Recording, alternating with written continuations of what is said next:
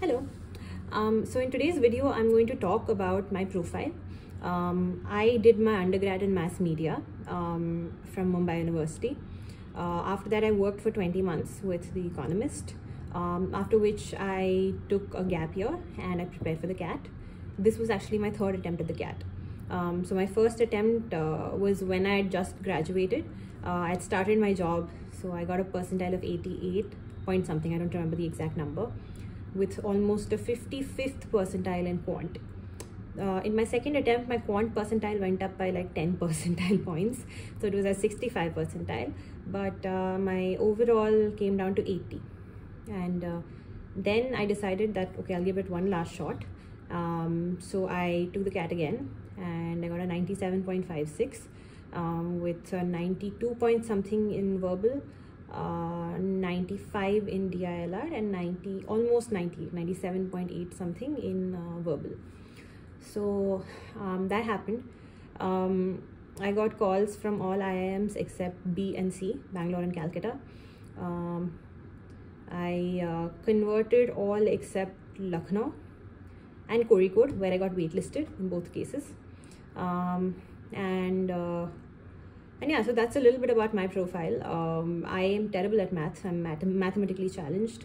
Um, but i um, you know I, I practiced. And uh, one thing one tip because a lot of you have been asking me in the comments uh, one tip that i wanted to give you guys is that in the cat you don't have to do every topic right? Unlike the gmat where you can uh, where you have to do one question to get to the next question in the cat there's no such system. You just have to pick the easier questions. No one is giving you brownie points for taking the toughest questions so don't chase the tough questions. Look at the easiest questions look at the low, lowest hanging fruits whatever's to your forte and then just try to work on that. Uh, in terms of uh, quant, I would say I focused only on three topics, which is arithmetic algebra and geometry. Uh, arithmetic, geometry, algebra, if you're looking at the order of priority. Um, so yeah, that's uh, that's how I did. And in DILR, I took a conscious choice to not do DI because I cannot do graphs.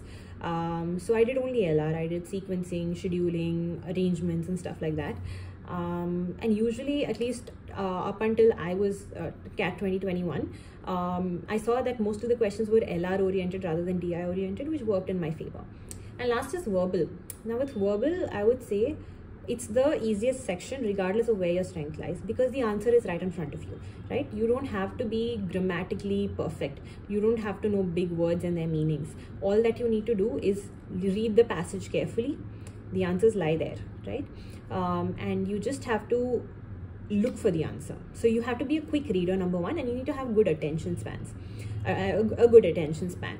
Um, these are the two things you need for a good verbal rc section at least. And for verbal ability i would say use elimination. So wherever there are words like but furthermore that would certainly not be the first sentence. You never start your sentence with but right? So you look for cues like that and just take a lot of marks i took almost 45 marks um, and analyze each one of them. Uh, analyzing is very important. It's a very boring process. I hated it but i had to do it right? Uh, so that's about it. Just wanted to say that if you want uh, any personalized advice uh, on how to crack the cat uh, you can just drop me an email. I'll mention my email id in the description box and also uh, below the um, video. So please feel free to reach out